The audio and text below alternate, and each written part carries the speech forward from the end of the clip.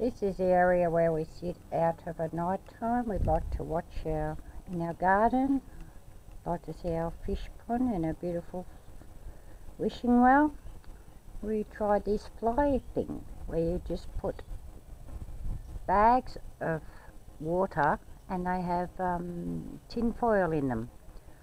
We tried the one, the ones without the label would be better.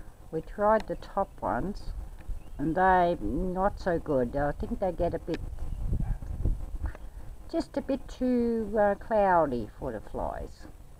I found that these other ones, the clearer ones, are a lot better. And you put the tin foil in because it, it makes an optical illusion for the flies.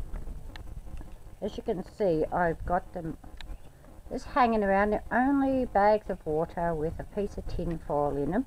But something to do with upsetting the fly's eyes. Because they have so many little eyes and when they look at it they're very timid creatures so they get very frightened by it.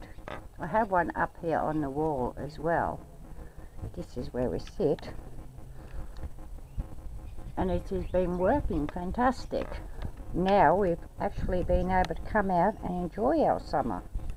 Before that we had flies absolutely everywhere and for no reason except it's just it's just summer in Australia so. But just try it. Just put a bag put a few bags around where you sit fill them with water put a piece of tin foil in them. Make them the snap lock ones. They're a lot easier to handle and hang them in the areas that you sit down. I even have one under the table here as the flies were getting down a little lower near our feet. But now we can actually sit outside and enjoy the weather. Bye bye for now.